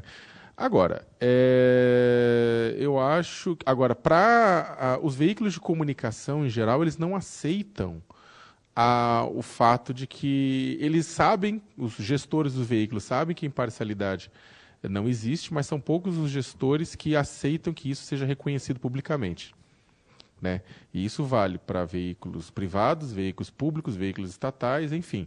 Né? Que olha, não temos uma opinião. Tem uma opinião, gestores têm opinião, e, na verdade, deveria haver em diversos veículos, nos veículos em geral, deveria haver um, um, debate mais aberto e mais saudável entre a base da, que produz conteúdo jornalístico e as cúpulas com relação a, a essas opiniões ou como as notícias são tratadas no dia a dia. Deveria haver um diálogo extremamente aberto, extremamente é, é sincero, né, para que houvesse essa, essa discussão. O problema é que se o diálogo for aberto, for sincero, cai um pouco a máscara de determinados veículos que gostam de se manter. É, olha, nós somos imparciais, nós não temos é, nenhuma, nenhuma, nenhuma restrição sobre, sobre nada disso. Temos, temos uma pergunta aqui e depois vamos para a web. Quer, quer falar agora sobre isso? A gente espera um pouquinho. Faz, faz, a... faz as duas. Não, não. Ok, pergunta. Oi, eu sou Eliane Gonçalves, uh, também aqui da IBC. Eh, eu queria até complementar a pergunta anterior da colega do Rio, é, que fala o que vocês acham das matérias, assim, do, que é produzido pela IBC, né, das notícias da IBC. Eu queria, inclusive, que vocês me falassem de um, uma matéria, uma notícia que vocês se lembram de ter lido ou visto ou ouvido de um dos veículos da IBC. É... Porque eu me lembro, por exemplo, e aí vem a outra parte, assim, já que complementou, eu queria um pouco falar sobre todo esse processo de vocês, sobre assim, uh, o processo de produção da notícia, né, da pauta, até a construção de uma narrativa. Queria que vocês falassem qual é a diferença do hoje, no, nesse espaço livre de vocês, para o antes. Né, como que era a definição da pauta, qual o tempo de apuração para uma pauta e quais as intervenções que se tinham para aquela construção da narrativa entre ontem e hoje. E falando isso de um veículo, falando para quem tem sete anos, tá? A gente tem sete anos aqui na IBC, então fala como e de uma questão muito básica que para a gente eu acho que tem muito essas palmas que vocês ouviram do Rio não são à toa, porque tem um, uma uma uma demanda muito grande, por exemplo, desde a pauta que se vem e que muita gente sente aqui como uma uma marra. Aqui dentro, a gente tem um processo em que é muito raro que um jornalista ofereça a pauta e possa trabalhar naquela pauta, entendeu? Possa se permanecer dentro daquela pauta. E há uma demanda por isso. Então, um pouco nessa complementando, o que, que vocês se lembram de alguma, né? E qual que é o papel que desse, né? Por que, que que lembra? Qual que é o papel que a gente pode ocupar dentro desse espaço, né? Nessas pautas. Olha, uma matéria que eu até passo para meus alunos, que foram produzida aqui, que foi aquela matéria sobre um especial sobre a escola base, que vocês produziram um tempo atrás. É. Tá vendo? Tipo, truco 6. Né? Quero ver uma matéria que, você, que a Repórter Brasil, que o blog fez, que vocês lembram agora, né? Vamos jogar para eles agora, né? Mas, a, uh, mas a, uh, uh, olha, uh, eu, eu, eu acho o seguinte, de uma forma rápida, quero ver a tua opinião deles, né? Ah, eu acho que a EBC, de uma maneira geral, é, é, claro que a gente viu todo um processo, eu acompanhei de perto todo o processo da criação da EBC por um grupo de amigos meu que trabalhou, que foi levado pelo Gênio Butch para Brasília, que trabalhou na, na, na, remodelação da agência, tudo lá atrás. E, e, todo o processo de instalação, a gente foi acompanhando. Eu acho que um grande, uma grande, um grande desafio da EBC de uma maneira geral é entender-se né, como, como fazer para que seja realmente uma, emisso, uma emissora e um grupo de comunicação público e não estatal. Eu acho que isso é, uma, é, uma, é, um grande desafio. Não adianta você simplesmente se afirmar, eu sou público, para você ser público. Você tem que garantir os elementos e os processos para que realmente um grupo de comunicação seja público e não seja estatal. Tem uma diferença? Tem uma diferença. Inclusive, quando foi. Quando foi eu sou próximo do Eugênio, eu gosto muito do Eugênio e gosto muito do Bernardo Kucinski, que também foi meu professor. Né? E assim como a Laura é, é formada em física, né? o Bernardo também é físico, não é formado em jornalismo. E, e, eles tinham duas visões diferentes como deveria ser a comunicação, o, a IBC e a Rádio Brás nesse processo. Eu entendo, quem tem interesse, eu não vou entrar no mérito, mas quem tem interesse, leia os livros ou os artigos dos dois, vocês vão entender. Agora, eu acho que é, precisa ser bem claro isso, porque eu acho que o potencial da EBC é muito grande, o potencial jornalístico, o potencial de difusão é muito grande. Eu acho que vocês, eu não é uma crítica a ninguém, nem na base, nem no topo, mas a impressão é que vocês poderiam ser maiores e mais influentes do que vocês realmente são. Né? E aí eu acho que deveria, uh, quando a gente olha para os exemplos de comunicação pública com a própria BBC, eu conheço muito bem o exemplo da BBC, né? Tenho muitos amigos trabalhando lá, não só lá, lá em Londres, como em outros, uh, outros escritórios da BBC. E você vê como funciona o processo e sabe que tem influência política, que não é aquela coisa, ah, não tem influência. Tem influência política em cima da BBC, tem muita complicação. Agora, como é feito o debate interno é que faz a diferença no final das contas. Né? Então, eu acho que esse debate entre público e estatal que deve ser entendido pela empresa para entender como é que vai ser o ganho de escala eh, e o ganho de audiência e ah, que tipo de influência vocês querem estabelecer na sociedade. Eu, eu não vou falar de nenhuma matéria específica, mas eu acho que a, a EBC tem uma.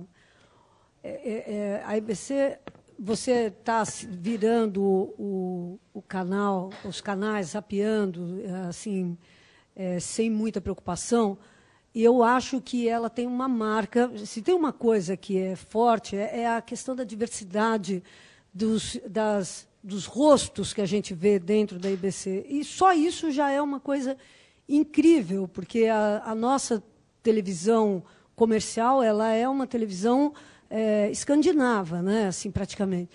E a EBC, na EBC, você, se estiver zapeando sem, sem sem prestar muita atenção. Você, você, chama atenção só pela diversidade dos rostos que você tem. Eu acho que isso é um ponto forte da, da, da IBC.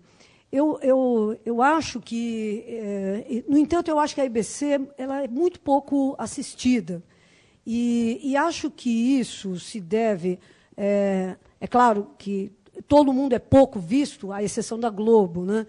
mas eu acho que tem coisas que a gente que, que, que é possível se usar como marketing para a emissora, para as grandes matérias e tal, ou para os grandes debates, e eu acho que a IBC usa pouco. Por exemplo, ela, é, vou citar agora, vocês têm os, o, o programa do Paulo Moreira Leite e do Florestan Fernandes, é, é, é ótimo, e tem, tem um monte de, de, de eh, entradas assim, sobre assuntos que são assuntos da atualidade e tal, não sei o quê. Eu acho incrível que isso tudo não esteja colocado assim no minuto seguinte dentro da internet e que isso esteja sendo divulgado e viralizado dentro da dentro do Facebook, entendeu? Quer dizer, eu acho incrível que não se use isso, até para mostrar o potencial imenso que tem é, é, de atratividade desses, desses bons programas. Uh, para não ficar na EBC, uh, o, o CQC mudou de gestão. Né? Ninguém estava assistindo o CQC, tinha havido uma grande queda de audiência.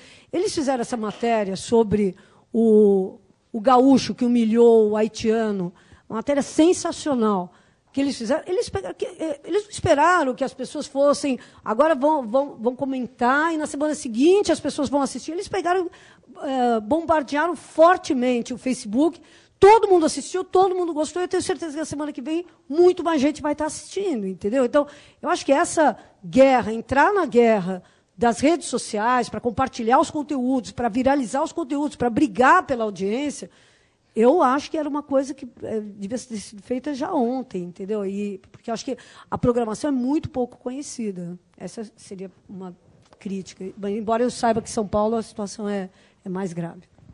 Eu, eu achei. Ó... Aí eu queria que vocês comentassem aquilo que ela falou, como era o dia a dia. Cada um falava de como era o seu dia a dia antes e como é agora, rapidamente, para a gente depois ir para as perguntas da web. É, eu acho que várias, nas redações que eu passei, dependendo da. A, a Laura já foi minha chefa na Veja. Era uma chefa excelente, gostava. Ah, a Laura era essa chefe? Ah, solta os podres agora. 98, 99. Já tive a pessoa que sucedeu, ela era um chefe terrível, que eu não gostei. É, então é engraçado, porque no, no, no, Estadão é a mesma coisa, na Folha é a mesma coisa. É, às vezes eu tenho a impressão um pouco que depende bastante da, do mala que está acima de você, né? É, da, do conhecimento que tem, da abertura que te dá. Mas eu acho assim que, o, por exemplo, no caso de, um, de uma boa chefia ou de, uma, de um bom encaminhamento de pauta, no meu entender, é, você chega para uma matéria com, com um espírito de etnógrafo, assim, você chega com um espírito aberto.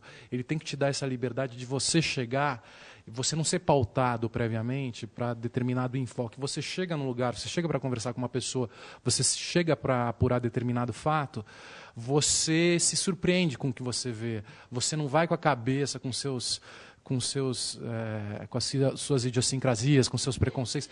Você chega aberto para falar com algum. E, e, o que você trouxer de campo é a notícia. Eu acho que isso é, é, é o chefe que dá capacidade, é, essa, essa possibilidade do repórter se surpreender na rua e de inverter às vezes uma pauta. Eu acho que isso é o mais sensacional do jornalismo e é o, o mais legal de uma boa redação ou de um, de um bom veículo, de um bom, é, é, de um bom grupo de imprensa. Você manda as pessoas para cobrirem a história Óbvio que tem histórias que são burocráticas e que não tem como fugir, né? Mas eu acho que é você dar essa possibilidade do, do repórter que está no acontecimento se surpreender e direcionar a pauta. E, na verdade, quando ele te traz o retorno, você é, de, é, também com seu conhecimento você ajudar, mas respeitando muito, sabendo ouvir muito o que ele está trazendo da rua. Eu acho que essa, esse respeito com a apuração em loco na rua, eu acho que é o mais que torna mais rico e mais surpreendente uma uma cobertura. Bom, eu eu acho que era eram bárbaras, por exemplo, as reuniões de pauta que a gente tinha na Veja. Eu imagino como é que devem ser as reuniões de pauta da Veja hoje. Mas enfim, é, é era muito bacana aquele negócio de você pegar, reunir todo mundo, aí cada um trazia, e aí um dava o pitaco na pauta do outro, ajudava, a gente dividia as tarefas e tal. Era uma coisa, um trabalho muito bacana de equipe e tal. É, eu acho que isso se perdeu nas redações atuais. Acho impressionante o quanto a, o, aquele debate todo que havia dentro das redações é, acabou é, ficando uma coisa muito frágil. E, e ficou muito frágil porque também ficou muito frágil o trabalho de apuração. Quer dizer, 90% das pautas são feitas por telefone. Quer dizer, por telefone você não vai ser surpreendido, entendeu? Quer dizer, não adianta. Que por telefone você vai fazer as perguntas que, enfim, que, que te permitem. É, é, enfim, é, é, muito difícil. Você está no lugar ali e está vendo as, as condições e tal, é completamente diferente dessa apuração. Então, esse ambiente todo de, de, debate, de disputa de ideias e tal, o que, que havia dentro das redações, eu acho que isso se perdeu muito. E, e, isso que faz com que o jornalismo hoje esteja tão previsível. E todos os jornais iguais, né? Quer dizer, é impressionante. A gente chega a ter dias que todos dão a mesma manchete, quase com as mesmas palavras. Quer dizer, isso, isso era uma coisa que, há algum tempo atrás, era quase impensável, né? quer dizer, que fosse assim. No entanto, hoje foi, havendo esse afunilamento dos jornais, eles se tornando cada vez, cada vez, cada vez mais parecidos. Então, é, então, esse elemento de surpresa e tal, de ser surpreendido e de surpreender, portanto, o leitor, isso aí eu acho que se perdeu muito. Eu acho que isso que deixou muitas pessoas também tão, é, tão assim, uh, com tanta expectativa, tão decepcionadas com o que está acontecendo dentro da mídia tradicional e, ao mesmo tempo, com tantas expectativas com esse mundo novo do, do da internet, dos blogs e das Vocês redes. Vocês conseguiram resgatar esse ambiente na rede? Ah, eu não tenho dúvida, meu. A gente faz toda semana, a gente faz uma reunião dos jornalistas livres, reunião presencial dos jornalistas livres em São Paulo. Nós estamos abrindo agora núcleo dos jornalistas livres em Belo Horizonte, estamos abrindo em Curitiba, uh, estamos abrindo no Rio de Janeiro, vamos abrir agora em Recife, que são, vão ser as nossas sucursais. É, e a ideia é essa, a ideia é fazer uma reunião de pauta, discutimos que nem uns loucos e tal, vemos encaminhamentos, vemos as, as atividades, mas toda semana é uma. To, toda a equipe se reúne. Quem não pode ir, acompanha. A gente, muitas, muitas reuniões a gente passa por streaming, então o cara pode acompanhar, uh, acompanhar e participar da, da, da reunião, quem não estiver na reunião. E todo o tempo a gente mantém chats de conversa, que são o chat de, de, da redação, o chat dos fotógrafos, o chat do vídeo dos caras que estão produzindo vídeo, o chat. Então, o tempo inteiro é uma conversação louca para discutir. Como é que nós vamos fazer agora aquela pauta da Fundação Casa? E a gente vai ter que, no domingo, lá, acompanhar as mães e tal, que estão indo visitar os filhos, para que elas comentem a questão da redução da maioridade penal. Quem é que vai, como vai, o que, que nós vamos perguntar? Isso tudo é o tempo inteiro de diálogo, de, de, de convencimento também, né? Porque ah, não, eu acho essa pauta mais importante, aquela outra mais importante, mas enfim, é, é, eu acho que isso a gente tem recuperado muito e envolvendo muita gente. Assim, eu acho que essa alegria de poder de, de voltar a debater, coisa que as, as redações viraram coisas silenciosas. É impressionante. Não sei se vocês têm ido nas redações. Né? É um silêncio sepulcral, é uma coisa. Isso, quando eu entrei na Folha, era uma gritaria, era uma... Vamos abrir, então, para o nosso público na internet agora. Tem perguntas, né? Tá. É, é uma pergunta do Facebook e uma do Twitter, né? As duas falam de assuntos que já foram abordados aqui, mas eu vou registrar, acho que se alguém quiser aprofundar mais. É, do Twitter veio da Mari, underline, ASL. Como os debatedores estão vendo as muitas demissões em veículos tradicionais e se isso pode colaborar para um novo jornalismo? A do Facebook veio do Antônio Honório Neto. Levando em conta as novas formas de mídia, como podemos definir hoje o que é notícia e o que não é, tendo em vista que a tecnologia proporcionou às pessoas mais acesso às informações e, ao mesmo tempo, uma maior abrangência em todos os aspectos? É, não, é bem deprimente é, ver os colegas serem, sendo demitidos, é muito triste esse momento ao mesmo tempo é triste ver que as pessoas não querem mais pagar pelo jornalismo, é triste você ver uma carreira, de repente, correndo o risco de ir para o buraco, você ter despesas para pagar e não conseguir, enfim, você tem uma questão profissional aí é, complicada e um monte de gente se estrepando por causa disso. E, ao mesmo tempo, quem fica na redação é, é está muito insatisfeito também, tá reclamando, faz, não tem condição de fazer pauta direito. Eu acho que, não sei, televisão talvez seja diferente. Eu digo mais dos jornais que eu, que eu conheço, mais foi onde tem a maior parte dos, dos colegas, enfim. Então é, é uma situação muito delicada, ao mesmo tempo eu, eu bato muito nessa tecla que eu acho, para mim pessoalmente, eu acho fundamental a questão da carreira, eu acho que a questão do salário é fundamental. Hoje me irrita demais as pessoas não quererem pagar mais pelo meu trabalho. É como se eu tivesse que é, fazer um trabalho voluntário, como se estivessem fazendo favor. Enfim, eu que tenho 20 anos de carreira. E claro que alter, existe, você tem que buscar alternativas, tal, mas é um momento é, delicado, é um momento é, que tem toda essa efervescência muito legal também ao mesmo tempo está vivendo essa, esse, essa fase de reinvenção do jornalismo, mas tem esse momento meio dramático também, né? Esse momento meio dramático que a carreira está sendo colocada em xeque. A gente, tipo, um cobrador, né, de ônibus também agora, ou então uma ou a indústria fonográfica, enfim, várias várias redações. Então, mas o jornalismo tem um papel político que é assim.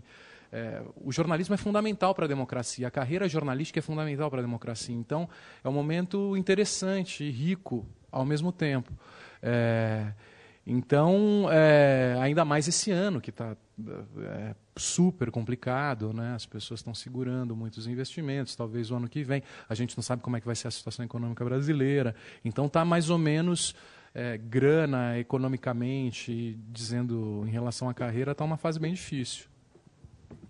Então, a, a gente tem um problema como jornalista, que jornalista ele não se reconhece como trabalhador, né? Isso é muito louco o jornalista ele acha que faz parte do mesmo grupo social, não todo mundo, mas a, na média, a gente acha que, acha que faz parte do mesmo grupo social do patrão. E a gente não se. Aliás, como diria, foi o Milor que falava que jornalista é o único que chama. Mino Carter, né? Que chama o patrão de colega, né? E a, é. E o que acontece é que você não é que o patrão não possa ter um diálogo honesto, limpo, claro, importante, bonito com você, mas existe uma relação, gente, existe uma relação capital-trabalho que a gente fica achando que isso não existe mais. E existe, sorry, e continua existindo, né? E muitas vezes a gente não só esquece, como a gente é treinado para achar que essa relação é, não existe e que as pessoas, muitos jornalistas têm nojinho de greve. Muito jornalista tem nojinho de reivindicação salarial. Muito jornalista tem, tem ele, ele, vê isso como, ah, isso é coisa de, de eletricista, de metroviário, de bancário. Só que o, a, o reajuste salarial anual de metroviário, de bancário e de eletricista, é, de, de, de, de, de, de, de cobrador de ônibus é maior do que o do jornalista. Então chupa. né? O seu, seu reajuste é maior do que o do pessoal que o pessoal se organiza e sai e reivindica e vai buscar a diferença. Então o que acontece? Só para é... te, te, te dando força. Abril demitiu 120 pessoas. O sindicato chamou uma assembleia. Quantas pessoas foram? Três. Então, se você não se vê, a primeira, se você não se vê como trabalhador no começo de conversa, você não consegue se organizar. E o que acontece? Há uma, uma mutação, há uma, uma mudança é, grave, estrutural no jornalismo hoje? Claro que há. Uma mudança estrutural no jornalismo hoje. Não é só porque a internet está crescendo, mas existe uma mudança muito grande sobre o fluxo, a forma, a participação que a gente está discutindo aqui nas últimas duas horas. Agora, essa mudança ela poderia. Demissões vão acontecer? Demissões vão acontecer. Agora, essa mudança poderia ser mais dolorosa ou menos dolorosa? Os patrões e nós, jornalistas, estamos tornando essa mudança mais dolorosa por falta de diálogo, falta de planejamento, incapacidade de poder sentir o momento de forma democrática, coletiva e tentar construir saídas. Este é um ponto fundamental. Né? Agora, a, enquanto a gente se achar parte da. A gente, o jornalista só percebe que não é colega do patrão quando é demitido. Ou às vezes nem isso, que como Nelson Rodrigues um dia disse na sua peça de teatro, o jornalista muitas vezes grita: "Perdoa-me por me traíres". Né? E aí não tem jeito. Agora, eu fico muito triste quando vejo, assim como o Bruno falou, eu fico muito triste quando vejo colegas jornalistas sendo demitidos e eu fico até chateado quando vejo pessoas falando: "Ah, não, é de tal revista, é de tal jornal, bem feito". Eu falo, como assim bem feito? São profissionais de imprensa, sabe? São pessoas que, que, tem gente que tem amigo meu que foi demitido com filho pequeno, com bebê. Eu acho isso extremamente triste. Agora, é, já passou da hora da gente se organizar. Né? E ah, no sindicato, qualquer instância que seja, já passou da hora da gente se organizar melhor e a gente se ver como trabalhador, como operário e como, como, como construtor dessa realidade que é assalariado, né? Pelo menos por enquanto é assalariado.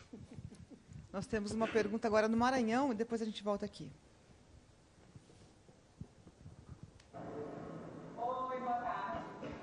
Meu nome é Evelyn, jornalista, e eu queria saber como é, nós jornalistas podemos, podemos nos comportar diante de um cenário assim, rico em denúncias é, voltadas para a segurança pública, voltadas para os direitos humanos, a gente tem um caso aqui, como exemplo o próprio Maranhão, que é um perfil assim, político bem travado, bem polêmico, que tem um cenário de blogs, de, de redes sociais, assim, bem apadrinhado ali com apadrinhamento político, onde tem casos de violência contra o jornalista. Como a gente pode se comportar e cumprir nosso papel, assim, com segurança? É, tem uma colega minha, Alcineia Cavalcante, que tem um blog lá no, no Amapá, onde o José Sarney é, foi eleito senador e tomou vários processos, ficou, teve que colocar é, os bens à disposição. É, esse, essa é uma grande questão. E essa é uma questão estrutural, de fato. Como é que a gente consegue ter advogados é, parceiros trabalhando para evitar processo e simplesmente te ferra economicamente.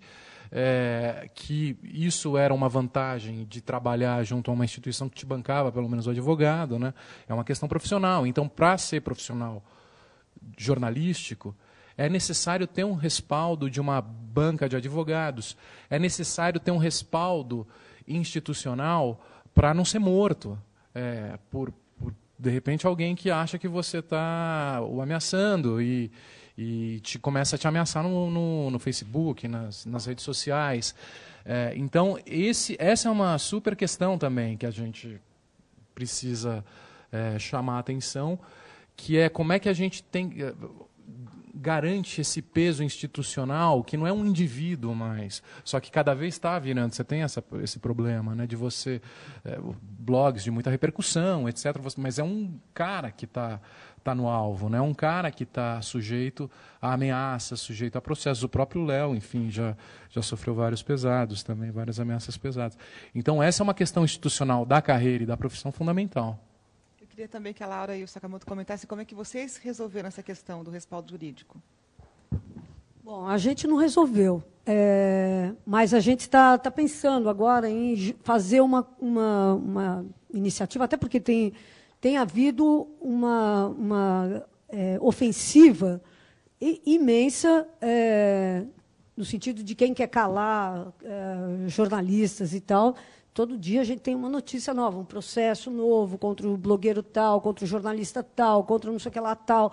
E é um negócio sufocante, né? porque o cara paga uma multa agora de 36 mil, depois tem a outra multa de 20 mil. Tem, quer dizer, não tem como o cara conseguir é, viver. E como a justiça.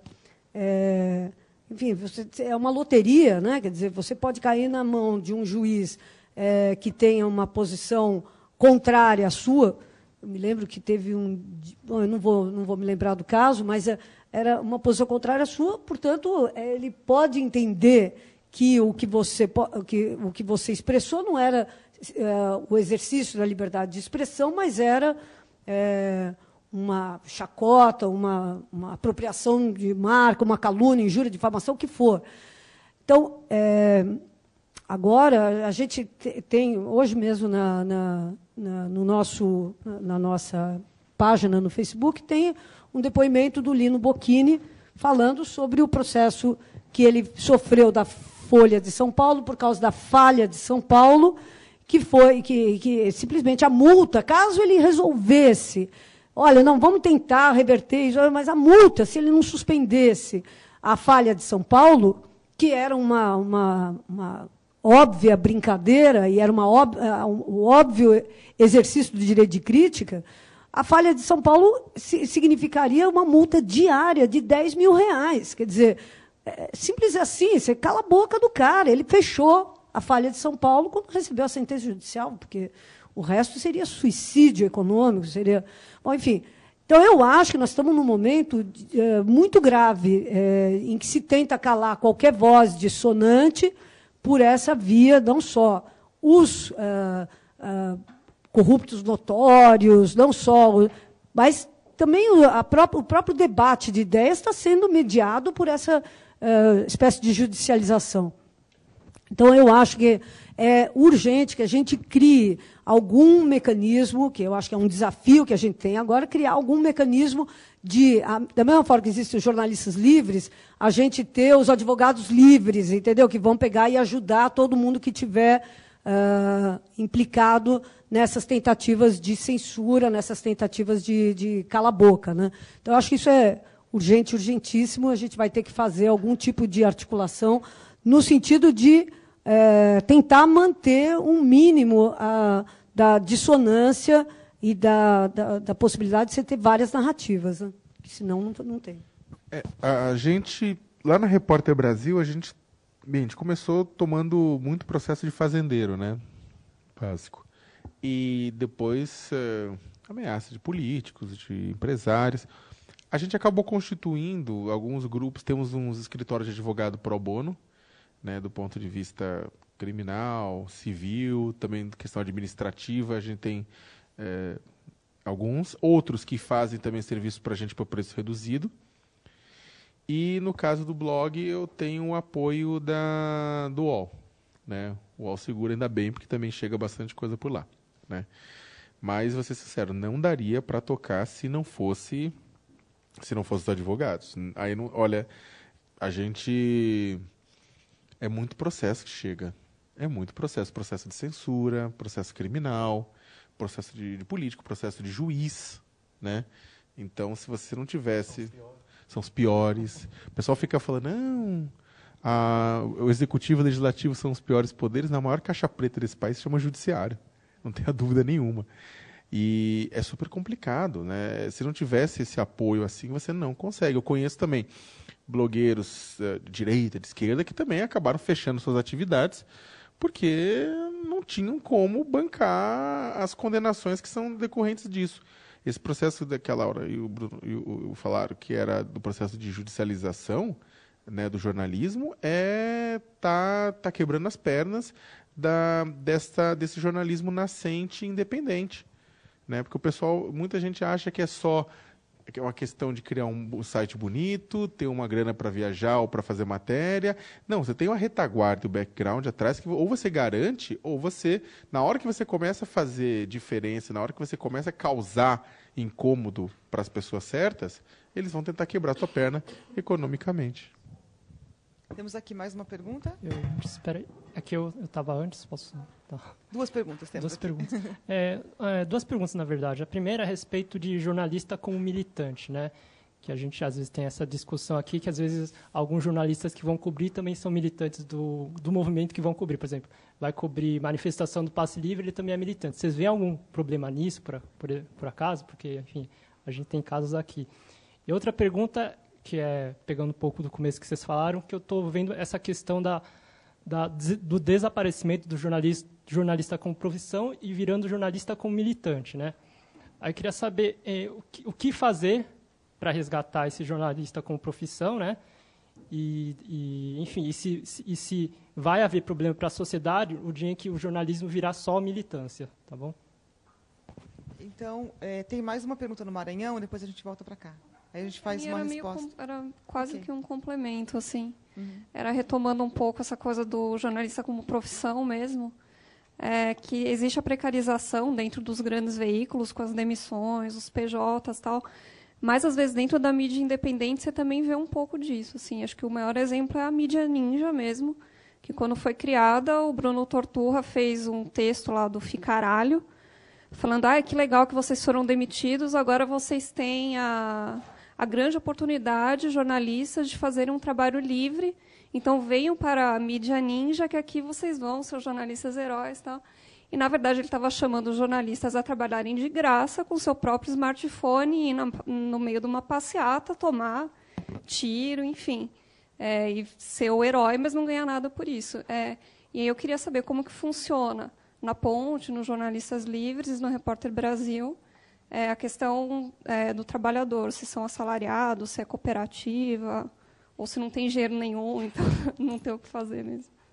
Antes da resposta, vamos só chamar Maranhão? Oi, boa tarde, sou Diego, jornalista. Na verdade, eu queria que vocês avaliassem se. Eu queria a opinião de vocês sobre se a, se a gente consegue fazer uma comunicação pública de verdade, né? a TV Brasil, no caso, e nesses cenários que as pessoas estão deixando de assistir TV, é, e a gente, todo mundo sempre martela isso de que a gente não consegue atingir um traço na audiência, e nesse cenário de cortes também de verba, tem deputado falando que é muito dinheiro gasto para a TV Brasil, né? então qual, como a gente cumprir a nossa missão né, de ser de verdade uma comunicação pública e com esses cortes e nem o, o próprio Congresso valorizando a gente. Obrigada. Eu queria pedir que vocês respondessem, já estamos caminhando para o final, né? Então, já responder as, as perguntas e já com as considerações finais. De cada um. É, eu vou. Eu, eu acho que, sobre ativismo e jornalismo, é, eu acho que eu concordo que não existe imparcialidade, que a gente tem nossa história e nossa trajetória e nossos preconceitos e, e nossas idiosincrasias, nosso. Mas eu acho que é possível buscar a isenção. Eu acho que é uma meta de uma boa reportagem você ser justo com a história que você está contando. E eu acho que o desafio de uma boa reportagem é desfazer estereótipo, aquilo que eu já tinha falado, desfazer estereótipo, se surpreender com alguma coisa que você viu tal. Mas eu acho que a busca da justi de justiça, inclusive, eu digo, a gente trabalhando na ponte e a gente cobre violência policial, a gente tem sempre se policiar é, para não bater de uma forma injusta na polícia, a ponto da gente perder a credibilidade e de falar, os caras que batem na polícia. Então, essa busca de isenção é, a, é uma força do jornalista, é a força do nome, é a força. Não que a gente consiga, porque você está apurando lá, puta, uma puta história de injustiça, você cobre outra, outra, outra. Mas é, você tem que sempre se policiar e sempre é, ter isso como uma meta de você não ser injusto sobre o que você está escrevendo, porque de fato não dá para generalizar e não dá para falar de uma corporação que tem 100 mil pessoas como se todos fossem um assassino que matou um moleque que você está cobrindo. Então é sempre esse exercício permanente, isso é jornalismo, eu acho. Essa, esse, esse autopoliciamento. A gente está preso à ética jornalística. A gente tem essa, essa, essa prisão. É, eu acho que é, quer dizer, óbvio que Há espaço para ativismo, há espaço para outros tipos de comunicação.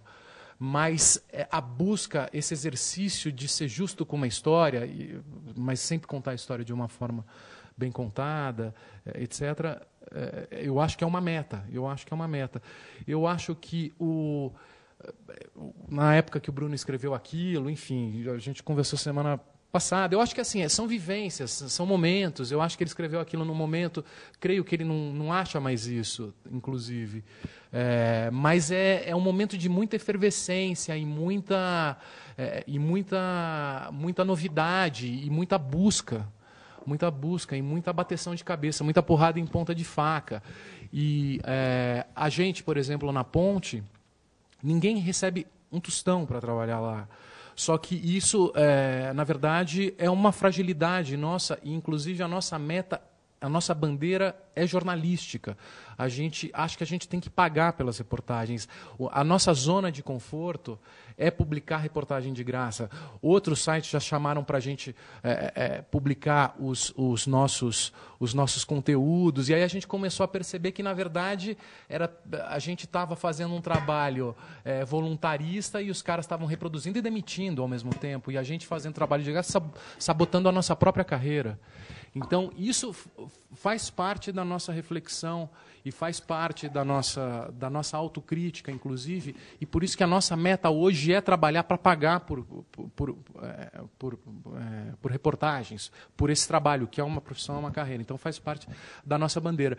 E eu acho que, enfim, do, sobre o Maranhão, e já para finalizar também uma participação, que foi, eu achei demais, tal, pô, duas horas aqui é, conversando sobre jornalismo, com todos vocês, foi super legal.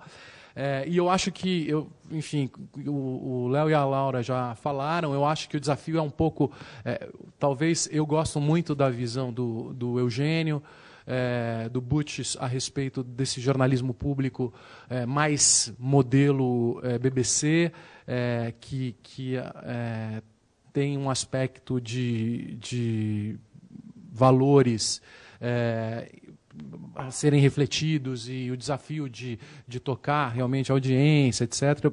Mas é, é uma pauta complexa, junto com esse dilema de demissão e etc., que, putz, é, dá séculos de discussão. Né?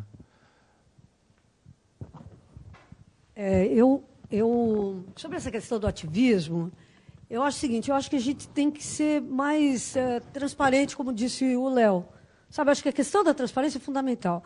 É, uma coisa é você fazer um, um jornalismo partidário. Né?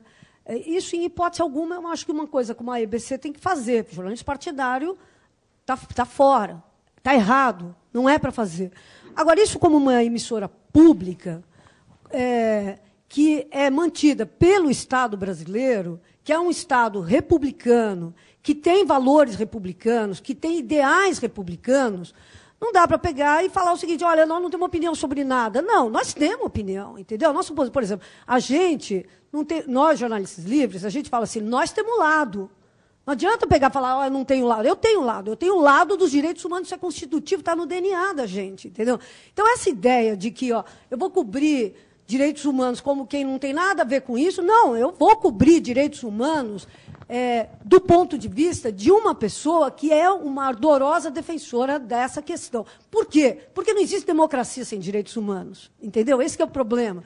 Então, você fala assim, não, eu estou fazendo uma imprensa democrática. Não, você não pode fazer imprensa democrática se você tem um Estado brasileiro que tem as assimetrias de direitos que a gente tem. Isso não é democrático, entendeu? Quer dizer, quando você tem uma pessoa que tem acesso a tudo e outra que é, é, é pilhada, é, é, é, é privada de tudo, cara, onde é que está a democracia, entendeu? Então, eu acho que a questão da adesão, é, assim, a adesão clara e transparente à agenda de direitos humanos tem que ser uma coisa, é um norte, é uma, é, é, assim que nós achamos que tem que ser o Brasil, e é assim que nós. Eu acho que o PT, eu acho que o governo federal, eu acho que a crise toda, por onde que a, a direita mais louca, partidária, por onde que ela está atacando a, a, a esquerda? É pela agenda dos direitos humanos. E por quê? Porque a gente achou durante um monte de tempo, a gente não, mas a, o governo achou que bastava melhor pôr, pôr um eletrodoméstico na casa de todas as pessoas que estavam resolvidos todos os problemas da, da cidadania. E nós estamos vendo que não é. Quer dizer, nós estamos vendo que a, toda a pauta dos direitos humanos é por onde o Eduardo Cunha está querendo golpear fortemente a coisa. Então, essa pauta tem que ser resgatada, entendeu? Pelos agentes republicanos, pelos agentes da democracia, pelas pessoas que têm lado. E o nosso lado é o lado da democracia. Então, eu não tenho dúvida nenhuma. Nós, por exemplo, nós temos um lado. Nosso lado é esse, nosso lado é da democracia e direitos humanos. E entendendo que a democracia só se faz com direitos humanos existentes. E a segunda pergunta que eu queria responder, a questão do, do dinheiro. Não tem dinheiro. Na, nos jornalistas livres não tem. Nós estamos nesse momento agora fazendo uma campanha de arrecadação de fundos pelo Catarse. Aliás, por favor, quem puder nos ajudar, é, catarse.me barra jornalistas livres, que é uma. A, a gente está pedindo para as pessoas ajudarem a sustentar essa iniciativa. O que, que nós queremos? Queremos alugar uma sede, queremos comprar equipamentos e queremos fazer um, um lindo portal para colocar todos esses coletivos que estão participando. Pode ir lá doar 15 reais, é, pode, pode doar pouquinho, mas doe. Porque o jornalismo livre precisa desse tipo de apoio, porque nós sabemos que nós não vamos receber dinheiro da Cirela, não vamos receber dinheiro da, da Friboi, nós não vamos receber dinheiro desses caras, e, mas nós queremos fazer bom jornalismo. Nós nem estamos falando em salário das pessoas. Você viu que eu citei várias coisas aqui, nenhuma delas é salário. Mas porque nós estamos começando agora com isso, com a estruturação mínima. E depois a gente quer avançar para isso. Eu acho que a gente pode, sim, fazer um jornalismo de qualidade, bom, na rede e autossustentável. Acho que a meta é essa. Mas eu acho que não dá para a gente esperar. Entendeu? O dia que vai rolar, o dia que vai vir, o dia que a mídia vai ser democratizada, o dia que. É como disse o Guilherme Boulos, que é um grande líder do MTST aqui de São Paulo, ele falou o seguinte: nós não estamos esperando o dia que vai vir a reforma urbana para pegar e, e, e, e, ficar, esperar esse dia para a gente, tá, gente morar. Nós estamos ocupando, hoje em dia, os espaços que existem vazios dentro da cidade e para dar moradia para as pessoas. Nós estamos fazendo isso também. Enquanto não tiver as condições, e essas condições que permitam um salário, permitam uma vida. Nós estamos fazendo frila pelos lados, mas nós estamos Continuamos nessa. E aí é militância mesmo militância pelo jornalismo, pelo jornalismo de qualidade, focado em direitos humanos. É isso que nós somos. Tá bom? Então, quem puder, por favor, contribuam, catarse.me barra jornalistas livres. Obrigado. Bem, a... com relação à questão do ativismo, eu acho que o principal é, é, é, a escolha da pauta, na verdade. Eu concordo com o Bruno com relação à questão da isenção. A gente tem que tentar é o máximo ser o mais ouvir todos os lados possíveis de uma de uma pauta e trazer aquela discussão né, o mais próximo possível de, da, dessa isenção. Agora, eu acho que, quando eu digo imparcialidade, porque você também. A escolha. Tudo começa na escolha da pauta. a gente na Repórter Brasil, por exemplo, decidiu que as pautas que nos interessavam seriam essas. Né? E aí a gente fez um recorte e ah, mas por que vocês não falam disso? Porque a gente não quer. porque a gente não vai. Ah, por que vocês não falam daquele assunto? Não, porque esse assunto nos interessa, aquele assunto não nos interessa. Questões socioambientais, trabalhistas, olhando a sociedade sobre a ótica do trabalhador, do, do operário, do, da, da, do pequeno em relação ao grande.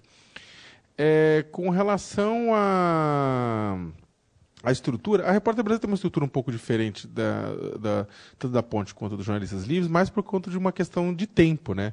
A gente é de 2001. Então, nós também nós passamos muito perrengue, né? muita dificuldade, passamos anos sem ter recursos, etc. Hoje, a Repórter Brasil, todo mundo que está lá no dia a dia é contratado CLT.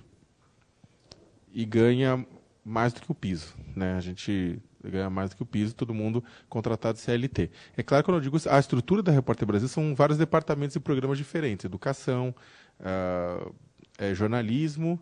Uh, e investigação pesquisa. Então, os departamentos têm sua, seus processos, têm suas mini estruturas de carreira, tem nivelamento de coordenadores, repórter, pesquisador, educador, até porque não dá para numa organização que toca no assunto de direito ao trabalho, se a gente fizer diferente, a gente estaria, teria um telhado de vidro muito grande. Então, todo mundo opera uh, de acordo. E, eventualmente, se a gente tem que usar frilas, etc., são também totalmente é, de acordo que, com, com o que prevê a lei.